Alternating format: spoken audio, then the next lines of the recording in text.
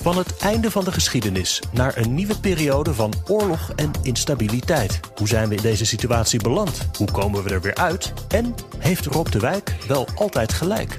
Tuurlijk wel. De verzamelde wijsheid van Boekenstein en de Wijk in boekvorm. Boekenstein en de Wijk voorspellen de toekomst. Nu in de boekwinkel.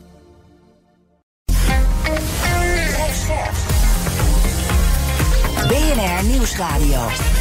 Ochtendnieuws. Bas van Werven. Goedemorgen, het is derde kerstdag. Het is dinsdag 27 december.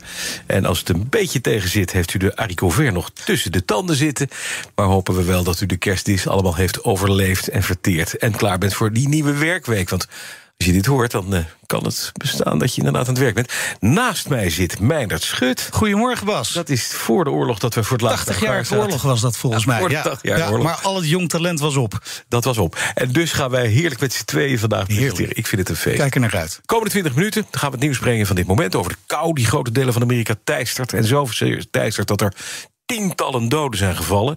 En we horen hoe de Oekraïners de kerst doorgekomen zijn. Niet al te best. En ook of er mogelijk inderdaad licht is in plannen van beide kampen om tot onderhandelingen te komen. We gaan je inzicht geven in de dag die komt op BNR, Nederland de rest van de wereld. De vliegende start van je werkdag. En die begint inderdaad in Amerika met extreme kou en sneeuwstormen die teisteren Amerika. Dan moet je denken aan temperaturen van min 40 met een enorme harde wind. Wat heeft dat voor impact? Nou, ABC News gaf even een indruk. Severe storms and bone chilling cold for millions and millions of Americans this holiday weekend. And right now, many may be trying to make their way home after mass cancellations and delays made holiday travel a complete nightmare. In Buffalo, New York, nearly four feet of snow and bitter cold shut down the city. Officials just updated the death toll from the storm to at least 25 people and said the city of Buffalo is impassable. Ja, in Buffalo, uh, Meijnerd, dat ligt op de grens met Canada, bij de Niagara Falls. Inmiddels zijn er zelfs 27 doden, in twee meter sneeuw gevallen. Maar heel het land, dat kennen ze, blizzards, hè, dat komt in deze periode voor, uh, maar niet op deze schaal.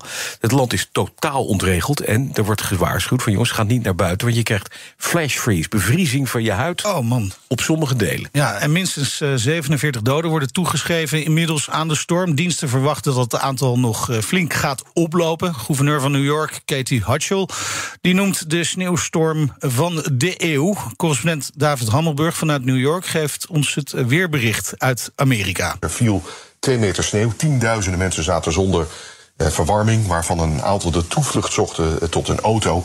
En met temperaturen tot meer dan 40 graden onder nul bevroor de sneeuw ook op een aantal plekken. Het was zelfs zo erg eh, dat er sleepwagens moesten worden ingezet om zieke auto's vlot te trekken die onderweg waren eh, naar noodsituaties. De storm uh, sloeg ook toe in zeker al acht andere sta, sta, uh, staten. De zwaarste blizzard in de boeken was in 1977. Deze steekt er ver en ver bovenuit. Ja, een historische blizzard dus. Wordt ook gewaarschuwd, ga nou echt niet naar buiten. Hè. Ook niet om blikjes bier te halen, want je vriest gewoon dood. Ja, mensen zijn, die zijn dat uit verveling aan het doen. Uh, maar goed, een historische blizzard. Is dat dan ook een teken aan de wand van klimaatverandering? Je hoort weer David Hammelburg. Deze gevallen deden voorheen ja, voorkomen als één keer per generatie of één keer per honderd jaar. En wat we nu in de afgelopen tien jaar zien, uh, is veel meer zo'n ja, zo'n halve eeuwstorm elke twee tot vijf jaar. En ja, ja. dat is dus de verandering waar mensen het over hebben. Ja. Nou, het is een unieke sneeuwstorm, ja, dat is te zeggen. Inmiddels heeft ook uh, president Joe Biden gezegd dat er hulp komt uh, voor New York, voor die getroffen staat. New York, normaal gesproken, heeft wel last van die blizzard en met name dat noordelijke deel. David vertelde ons trouwens dat in New York City zelf is geen sneeuw gevallen. Okay. Maar het is wel koud. Het was min 15 met een harde wind. En ook dat is gewoon echt bone-chilling. Het is heel erg koud. Maar ja, toch een stad waar veel daklozen ook zijn. Ja. Mensen op straat. Dat zie je ook in upstate New York... waar gewoon mensen doodgaan. Dakloze zwervers die daar niks hebben. Nou, vandaar dat uh, de Amerikanen nu komen met een, uh, een noodplan. Althans, Biden heeft dat toegezegd... dat er wat uh, aan, aan hulp op gang gaat komen. We gaan naar Oekraïne, want die oorlog is inmiddels tien maanden bezig. Poetin heeft uh, afgelopen zondag gezegd dat hij bereid is om met Oekraïne over vrede te praten. En de Oekraïners hebben gezegd: ja, dat zijn wij ook, maar er zijn wel wat voorwaarden ja. verbonden. Dat hebben beide partijen gedaan. En ondertussen wordt er gewoon doorgevolgd. Sterker nog, de Russen bombarderen gewoon met raketten. We gaan met onze uh, correspondent in Moskou, Joost Bosman, praten over de laatste ontwikkelingen. Joost, goedemorgen. Goedemorgen. Allereerst even naar zondag terug. Hè. Die uh, toespraak van Poetin. Die zei ja, ja, we zijn eigenlijk best klaar om te gaan, gaan onderhandelen. Alleen dan moet je het over twee dingen niet hebben. Krim en de Donbass, dat blijft van ons. Ja, uh, nou zo gaat het eigenlijk al negen maanden, hè, tien maanden. Uh, en, en, en de Oekraïners zeggen, ja, maar uh, over ons lijk, daar gaan we wel over praten, want die willen wij terug hebben. En dus ontstaat er een padstelling. er zal van acht jaar achter de, achter de, in, de, in de coulissen zal er overleg moeten worden hierover. En, en, en gezien worden wat er kan gebeuren. Hè. ik geloof dat Kuleba, de minister van Buitenlandse Zaken van Oekraïne, heeft gezegd. zo rond de jaardag van, van, van de, de, de speciale operatie, hè, 24 februari.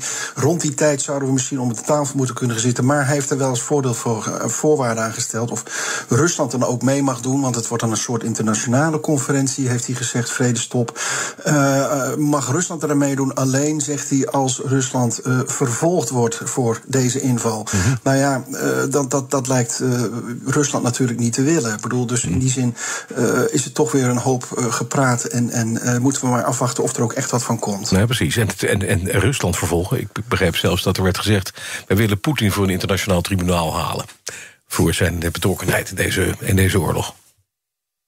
Ja, nou ja, goed. Uh, Rusland heeft in de grondwet staan uh, dat het geen uh, landgenoten mag uitleveren aan internationale mm -hmm. tribunalen. Ja. Dus dat zal volgens de Russische grondwet niet eens gebeuren, maar, niet mogelijk zijn.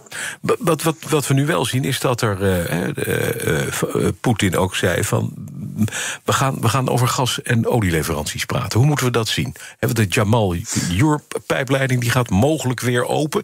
Die een aantal dagen na de inval is, is, is afgesloten. Dat gas naar Duitsland vervoerde. Maar ik begreep nu dat de energieminister in Rusland gezegd heeft: ja, maar er is, er is vraag. Dus we moeten kijken of we dat misschien nou, weer een beetje kunnen gaan uh, herstellen.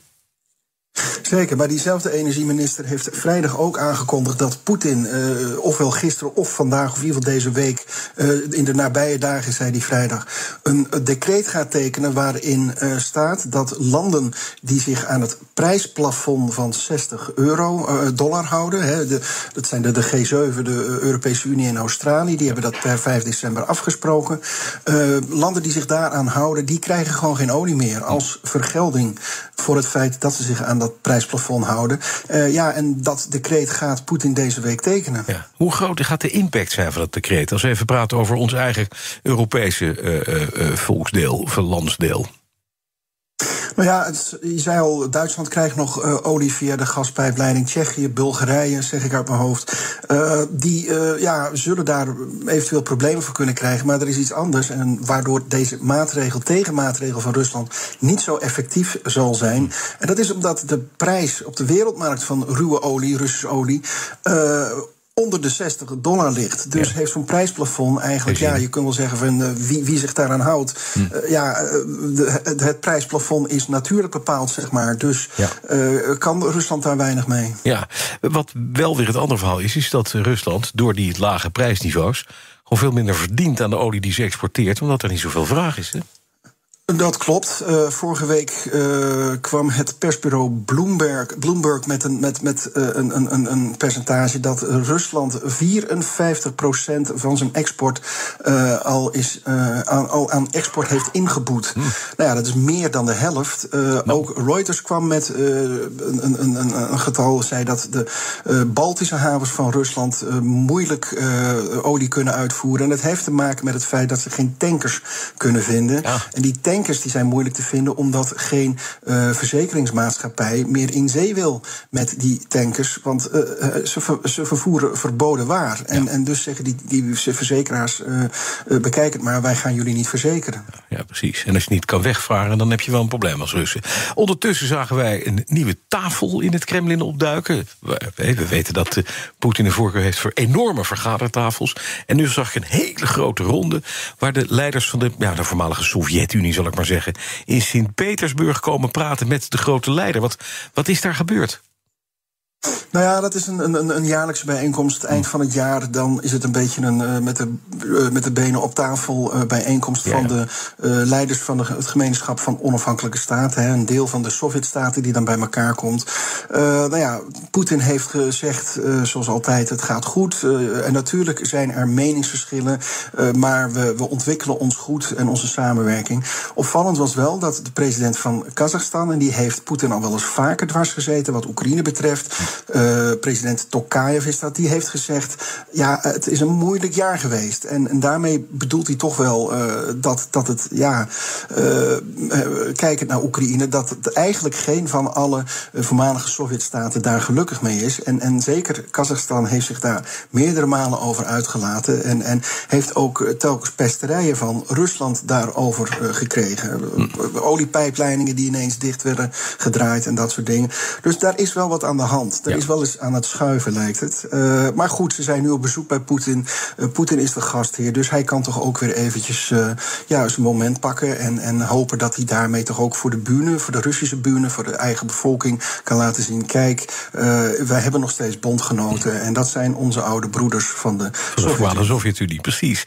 maar er zijn ook andere mensen die hun mond open doen. We zagen bijvoorbeeld Medvedev optreden in een Russische krant, hè?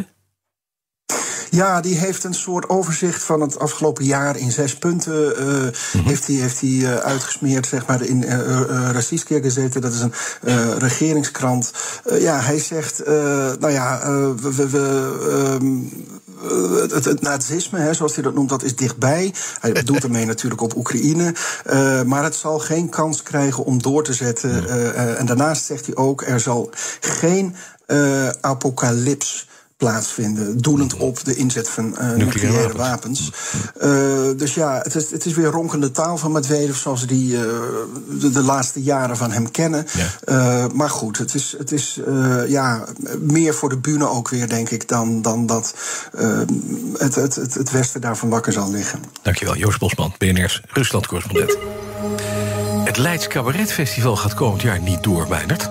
Oh, want? Nou, is niemand te vinden die grappig genoeg is. Zo, tot zover Lady. Ochtendnieuws. De benzineprijs aan de pomp in Nederland is zo'n 10% gedaald. Ja. Dat uh, meldt de Telegraaf. Ja, dat is prettig nieuws. Maandag was de adviesprijs voor een liter euro 95 rond de 1,90 euro. Terwijl begin dit jaar de prijs nog lag rond de 2,10 euro. Hè, weet je -hmm. nog? Nou, in maart piekte de literprijs, was hij zelfs eventjes boven de 2,50 euro. Toen heb ik hem niet helemaal volgetankt. Toch betekent uh, die daling niet dat de prijs ook echt laag blijft. Geen goed nieuws wat dat betreft. Vanaf 1 april voerde de overheid een accijnsverlaging in. Maar ja, komend jaar, over een week dus, wordt die maatregel weer afgebouwd. Kans bestaat dus dat de prijzen dan weer omhoog schieten. Opvallend afgelopen jaar natuurlijk was dat ook diesel af en toe duurder was dan benzine. Voor diesel is de adviesprijs nu rond de 1,89 euro. Nou, vorig jaar was dat nog zo'n 1,74 euro. Ja, we zien eigenlijk de dieselprijs en de benzineprijs rond hetzelfde niveau laveren. Ja. Ja, het punt is, op het moment dat die accijns wordt ingevoerd... anderzijds, je hoort dus net, hè, de olieprijs op de wereldmarkt... voor een vat ruwe olie Brent 60 dollar. Ja. Dat is laag. Ik hoop dat en dat doorzet. Dat hopen wij ook van haar ganse harte, ja. Uit een peiling van het Duitse persbureau DPA blijkt dat een groot deel van de Duitsers vreest dat er een gastekort deze winter gaat ontstaan. Of in ieder geval dan de winter van 2023 2024 schrijft de Telegraaf.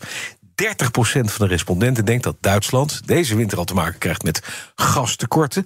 En daarbij denkt iets meer dan een kwart dat het volgende winter inderdaad uh, raak zal zijn. Iets minder dan een derde denkt het komt allemaal wel goed. Er gaat geen gastekort zijn. Dus overgrote deel van de, van de Duitsers denkt dat het gewoon fout gaat. Nou zijn de gasvoorraden in Duitsland weer iets gevuld door het zachte weer.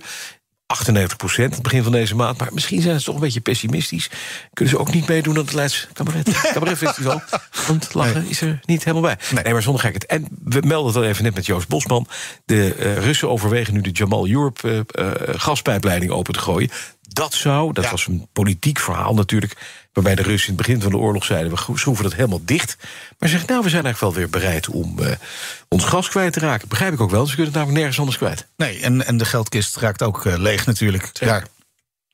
Er is eh, nog veel onwetendheid onder eigenaren van een snorfiets over de landelijke helmplicht, die namelijk vanaf 1 januari gaat gelden.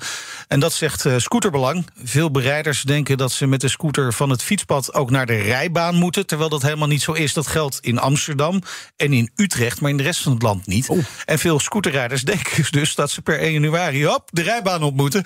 Moet je vooral op. niet doen. Ja, dat dan weer wel. Het eh, schort aan goede voorlichting, dat zegt in ieder geval Maurice van Oosten in BNR Mobility. Ja, die campagne is totaal krakkemikkig en gebrekkig geweest. Dus eh, eigenlijk weet niemand dat, dat, dat als wij zelf zoeken, dan komen we eigenlijk ook niks tegen. We hebben, wij hebben zelf wel campagnemateriaal gekregen, maar ik zie het nergens terugkomen. En het blijkt uit de vraag van de mensen dat ze ook niet op de hoogte zijn. Als je, als je, als je mensen spreekt, eh, ja, die zijn onwetend. Dus ja, als die campagne goed was geweest, dan had iedereen het wel geweten.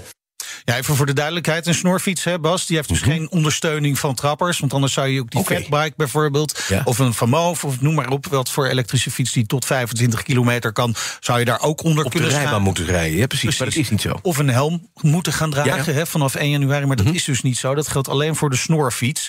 Dus zonder ondersteuning. Nou, in navolging van Amsterdam en Utrecht moeten mensen die op een snorfiets rijden in heel Nederland, dus vanaf 1 januari, een helm Eh, Nederland heeft ongeveer 800.000 snorfietsen. Door die komende helmplicht is de verkoop dan ook wel ingestort. Ja, die loopt nu eh, inmiddels al eh, elke maand zo'n 50% terug. Dus als je het hebt dan in percentages, is dat rond de 50%. In absolute aantallen heb je dus gewoon tot en met het eind van het jaar al over bijna 20.000 snorscooters die minder zijn verkocht dan eh, vorig, eh, vorig jaar. Ja, want nu moeten die meisjes met al die mooie blonde haartjes Ja. op die Vespa snorfiets. Ja, en dan gaat je met een helm op. bar. Ja, Ja. Helm op je knar. En eh, dan gaat je haar eh, dos eraan Zo. natuurlijk. Eh, nou, verwacht Scooterbelang wel dat er veel helmen verkocht zullen gaan worden. En die waarschuwen dat deze week een tekort aan helmen kan ontstaan... omdat verkopers gewoon niet genoeg op voorraad hebben. Nou ja, er zal natuurlijk altijd wel een groep zijn die, eh, die hun snorscooter geparkeerd heeft in de, in de schuur, eh, omdat het veel te koud is. Eh, dus ik verwacht eerlijk gezegd dan niet dat er 800.000 mensen voor 1 januari op de stoep staan. Maar eh, stel je voor dat dat eh, de helft is, dan weet ik zeker dat dat een uitdaging is. Want de, de branche die heeft natuurlijk niet al anderhalf jaar geleden geïnvesteerd in voorraad. Want die heeft gewoon gewacht dat de datum definitief bekend werd. En dat werd pas bekend ergens in september. Ja. Ja, lekker laat dus. Nou, is er nogal een mogelijkheid hè, om een helm te kopen als een snorfietshelm niet beschikbaar is? Mhm. Want een helm die je nodig hebt bij een speed pedelec, hè, dat zijn van die fietsen Ja, ja. die tot 45 km per uur kunnen. Die mag ook. Die mag ook. Dus die zijn nog wel redelijk op voorraad. Dus eh, je kunt er eh, maar beter snel bij zijn als je inderdaad vanaf 1 januari op je snorfiets eh, wil rondtuffen. Anders riskeer je een boete van 100 euro. Dat is best jammer. Per overtreding, hè? Per overtreding. Aflevering van BNR Mobility kun je na- terug, natuurlijk terugluisteren via je favoriete podcast-app. Ja, en dan gaan wij deze weken in de stille dagen, zo tussen kerst en oud nieuw, praten over je eerste baantje. Kantenbezorger, afwas, vakken vullen. Nou, voor vele mensen geeft dat herinneringen, al of niet positief, aan die eerste bijbaan. Elke morgen spreek ik diverse gasten over hun eerste bijbaantje of hun allereerst wat serieuzere baan om te horen wat ze daarvan geleerd hebben en wat ze daarvan mee hebben genomen in hun verdere carrière. En vandaag is bij ons niemand minder dan onze eigen kerstverse hoofdredacteur Mark Adriani. Dat is niet zijn eerste baan, gelukkig. Mark, goedemorgen. Goedemorgen, Mark. Ja, goedemorgen. Ja. Jouw eerste baan, wat was dat? Weet je dat nog? Nou, echt een beetje echt serieuze baan was bij een, eh, een wasserij, een stomerij. Eh, dat heette Palte. Ja. Ehm, ik heb nog even opgezocht. Het schijnt nog steeds te bestaan, maar het is wel 33 keer failliet geweest, geloof ik, ondertussen. En daar was ik, eh, want dat, dat is opgericht in Almelo, het oosten van het land, in Twente. Daar ben Ja. ik ook eh, opgegroeid. En daar zochten ze iemand, een hulp voor eh, de, de vakanties. Dat was gewoon in midden de zomervakanties, het was buiten bloedheet. En toen heb ik me daar gemeld bij de poort van. van ja, het was echt een fabriek met grote machines waar dus ja, wasstoffen en, en eh, alles werd gereinigd. En daar zochten ze iemand. En ik dacht, ja, ik heb geld nodig. Laat ik me daar, daar maar eens melden om te kijken of ze iemand nodig hadden. En toen mocht ik dus op een goed moment komen. En hoe, hoe oud was je toen, Mark? Nou, ik denk, ja, dat zat ik ook te denken. Ik denk een jaar of 15, 16, precies. zoiets. Ja, ja, dus het was echt eh, ja, zo, zo, heel verlegen. En, en, en eh, toen kwam ik daar en, en in die fabriek. En toen weet ik nog heel goed, ik moest tegelijk beginnen met een andere jongen. Die had ongeveer dezelfde leeftijd. En eh, we stonden in die fabriekshal. En links stond een computer. En daar moest je allemaal al dingen worden ingevoerd. Ik had al door van ja, daar moet je iets mee. Ja. En rechts een heel grote, grote machine. Met allemaal stoom en ook van die strijkijzers, weet ik ook nog, die, die ze hadden.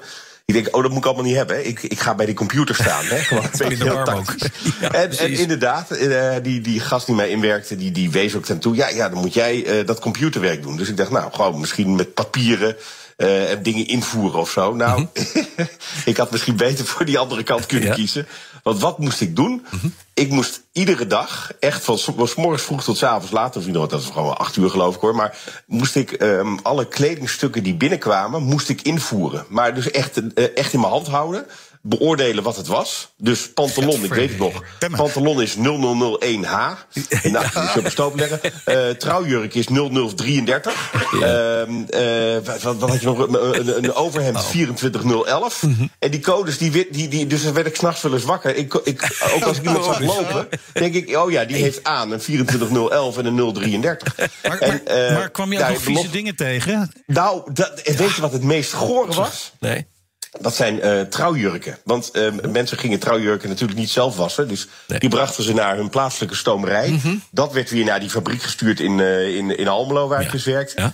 Nou, en, de- en, en, en trouwjurken, ja, die, eh, dat- is zeg maar alles van een avondje stappen komt daar samen. Ja, oh, Met in ja. heel veel stof. Eh, en, eh, en, en met name de lucht van zweet. Het, is, het, is, ja, het was niet te Oh, hard. en, dan- en dan ook nog een warme zomer. Ja. En daarin Ja. zo'n een ding met, met strijkbouten en wasmachines. Dat is niet lekker voor nee, de... dat was niet zo nee, fijn. Ik moest ook alles aanraken, hè, want Ja, fijn. die, die hele stapel lag links van mij en, en, dat- en dat moest naar rechts. Dus het was ook echt zo'n. Dat je denkt, nou ja, god, eh, zie, die, zie die, die stapel nog een keer beetje kleiner worden. Nou, dat, dat ging heel langzaam. En als die dan kleiner werd, kwam er weer een vrachtwagen aan. Hup. En die, die dumpte weer weer een nieuwe, nieuwe nieuwe voorraad trouwjurk. Ja, en Mark, het punt, het punt is natuurlijk wel... Dit, dit zijn wel de wijze lessen. Namelijk Dat je denkt van ik moet niet voor de makkelijke weg kiezen... eh, door de computer te doen. Want die andere vent die heeft nog nooit zo hard gelachen. Die heeft, nooit, die, heeft die vieze trouwjurken niet hoeven aanraken. Wat, Nee, precies. wat heb jij geleerd daar in die, in die, in die baan? Wat je meegenomen dat- hebt dat- tot nu toe?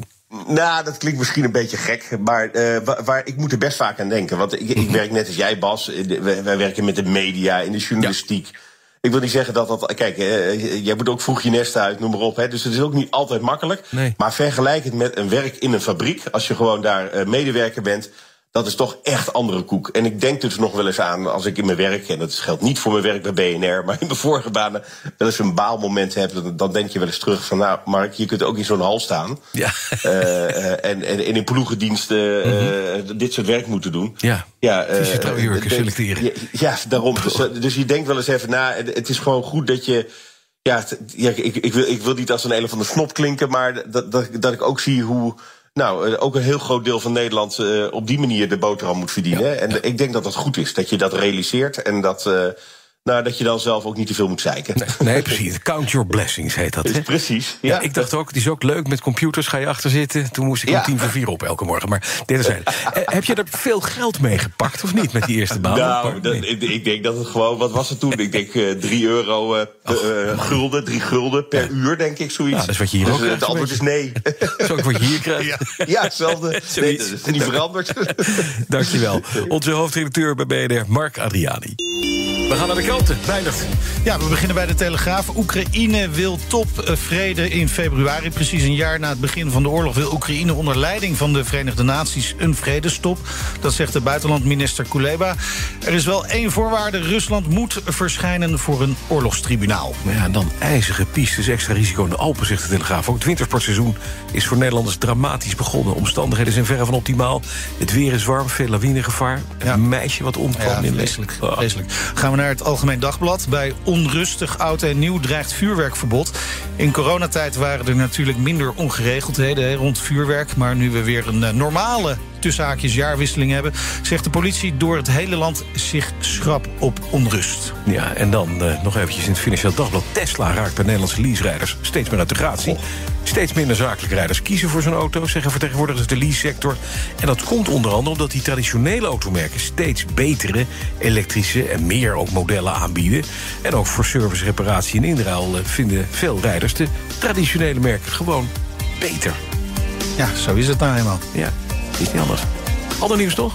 Russen glijden af in de depressie door het bloedvergieten in Oekraïne. Sinds het begin van de oorlog is het gebruik van antidepressiva in Rusland met 50% gestegen.